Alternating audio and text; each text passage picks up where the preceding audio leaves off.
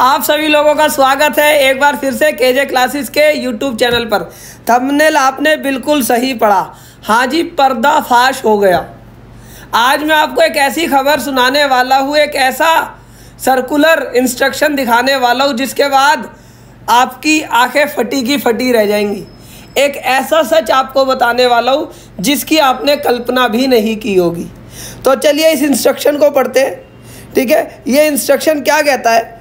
कि भाई आजकल हो क्या रहा है कि जब भी कोई व्यक्ति जीएसटी रजिस्ट्रेशन के लिए अप्लाई करता है तो कई बार तो ऑफिसर उस रजिस्ट्रेशन को अप्रूव करते हैं और कई बार ऑफिसर क्या करते हैं, छुट्टी पर चले जाते हैं और उस रजिस्ट्रेशन को अप्रूव नहीं करते।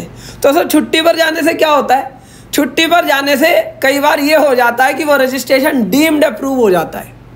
और जैसे ही रजिस्ट्रेशन डीम्ड अप्रूव हो गया तो ऑफिसर ने अपना पल्ला झाड़ लिया कि भाई साहब, इसको रजिस्ट्रेशन मैंने नहीं दिया। और फिर ऐसे व्यक्ति को जो रजिस्ट्रेशन मिलता है, वो कई जगह पर फेक बिलिंग का काम भी कर देता है। तो अब आप इसमें क्या कहोगे? कमेंट बॉक्स में मुझे लिख कर बताओ। आप मुझे बताओ कि क्या आप मेरा इशारा समझे? मैं क्या कहना चाह रहा हूँ?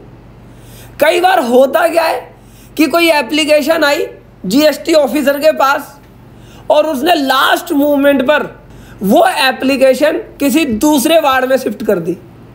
और जब दूसरे वार्ड में गई तो फिर उस पर भी समय नहीं था चेक करने का। तो आनंद फानन में उसे रजिस्ट्रेशन दे दिया गया। तो यहाँ पर आपको क्या लग रहा है? कमेंट बॉक्स में लिखकर बताना अगर आप मेरी बात को समझे हो। ये बात मैं नहीं कह रहा भाई। ये बात ये सर्कुलर कह रहा है। ये इंस्ट्रक्शन कह रहा है। ऐसा पाया गया कहाँ पर? उड़ीसा के अंदर। ये अगर आपको चाहिए तो मैं आपको टेलीग्राम ग्रुप पे लिंक दे दूँगा, आप इसे पढ़ लेना। क्या लिखा हुआ है यहाँ पर कि भाई फेक बिलिंग का काम बहुत हो रहा है, उसे पकड़ने के लिए क्या होता है?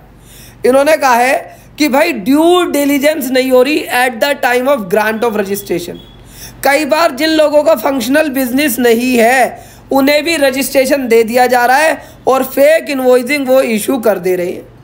ठीक है ना? किस वजह से हो रहा है? Due to in action of the concern proper officer in charge of registration within the prescribed time as many ग्यारह सौ अड़सठ one one six eight number of registration applicant have been approved automatically मतलब कि भाई साढ़े ग्यारह सौ लोगों को, ठीक है ना रजिस्ट्रेशन की एप्लीकेशन ऑटोमेटिकली अप्रूव हो गई क्योंकि टाइम निकल गया था डीम्ड अप्रूव हो गई।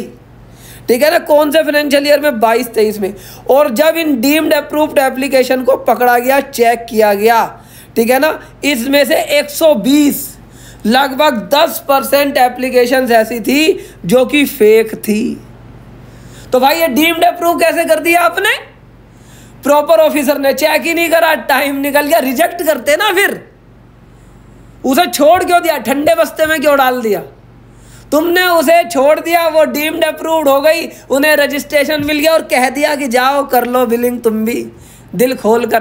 कल को हमारे ऊपर कुछ आएगा? तो हम कह देंगे भाई साहब, हमारे हमने तो दिया ही नहीं रजिस्ट्रेशन। ठीक है ना? तो यहाँ पर आपको इस चीज़ का ध्यान रखना है। ऐसा हुआ क्यों? ठीक है ना?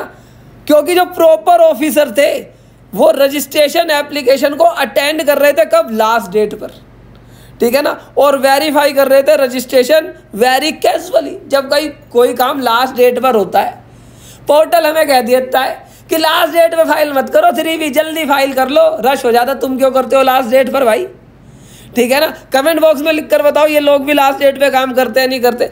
It has come to their knowledge proper officer are transferring the case to the another circle वो क्या करते हैं? अपना केस दूसरे सर्कल को, दूसरे प्रॉपर ऑफिसर को लास्ट घंटे में छोड़ दे देते हैं। कि भाई साहब, ये तो मेरा है ही नहीं।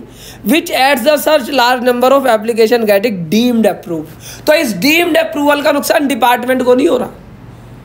इनका नुकसान उन्हें हो रहा है कि जो लोग फेक बिलिंग ठीक है, ले लेते हैं, ठीक है ना, उसके बाद इसमें जेनवन लोग भी कई बार फंस जाते हैं।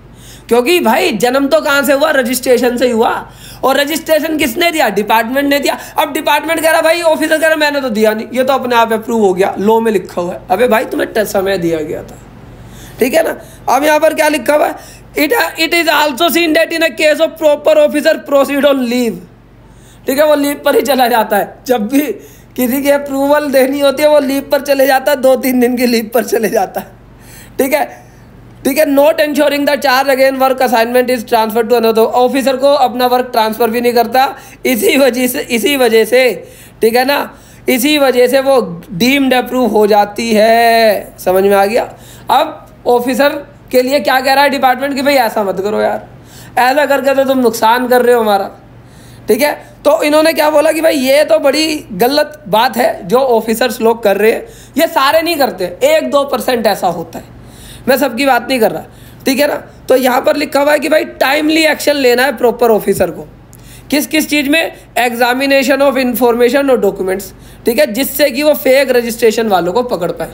अब इन्होंने कहा, भाई, क्या एक्शन लोगे? अब तुमने जो करा वो तो कर दिया।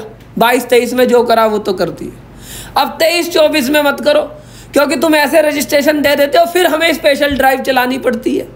फिर उन्हें पकड़ना पड़ता है। तो अब इन्होंने कहा, अब ऐसा करो ना रजिस्ट्रेशन से पहले ही कुछ काम कर लो। प्री रजिस्ट्रेशन स्टेज पर ही पहले तो आप ये देखो कि जब भी कोई नई एप्लीकेशन आए तो वहाँ पर कभी भी ऐसा ना हो कि वो डीम्ड अप्रूव्ड हो जाए। समय रहते ही उसकी जाँच कर लो और अगर तुम्हें सही नहीं लग रहा तो रिजेक्ट कर दो। क्वेरी लगा दो, ठीक है ना? तो यहाँ पर लिखा हुआ है कि डीम्ड अप्रूव नहीं होनी चाहिए। अगर डीम्ड अप्रूव्ड हुई तो एसएससी से मत मांगो डिमांड किससे मांगो? ऑफिसर से मांगो। क्योंकि कहीं ना कहीं ये ऑफिसर की गलती है। समझ आई? और उसके बाद इन्होंने क्या लिखा है कि जो लोग ओटीपी पे नहीं जाते हैं, ठीक है ना, जो ओटीपी बेस्ड रजिस्ट्रेशन नहीं लेते हैं तो उनकी फ़िज़िकल वेरिफिकेशन ज़रूर करा दो। समझ आ गई बात? तो फ़िज़िकल वेरिफिकेशन उसकी होगी। और अगर आपको लगता है कि वो ओटीपी बेस भी चला गया, लेकिन हमें डाउट हो रहा है तो भाई दोबारा इसकी फ़िज़िकल वेरिफिकेशन करा दो कोई दिक्कत थोड़ी है रूल में लिखा हुआ है। फिर इसके बाद क्या लिखा हुआ है कि भाई आप यहाँ पर ज़रा चेक कर लो, ठीक है ना? आप यहाँ पर चेक कर लो कि भाई ये रजिस्ट्रेशन इसका सही है या नहीं है। और अगर सही नहीं है तो रजिस्ट्रेशन के बाद पोस्ट रजिस्ट्रेशन स्टेज पर, तब आप, तब जाके फ़िज़िकल वेरिफिकेशन करा लो। अब भी तो करा रहे हो, तभी करा लो। और अगर आपको लगता है कि सही नहीं है तो आप क्या करो, अगर आपको कोई एडवर्स रिपोर्ट मिलती है तो आप उसका रजिस्ट्रेशन कैंसिल कर दो as per section twenty nine two twenty nine two में बैक डेट से उसका रजिस्ट्रेशन कैंसिल कर दो। अब होगा क्या? जब व्यक्ति का रजिस्ट्रेशन कैंसिल होगा तो व्यक्ति क्या करेगा? दोबारा अप्लाई करेगा।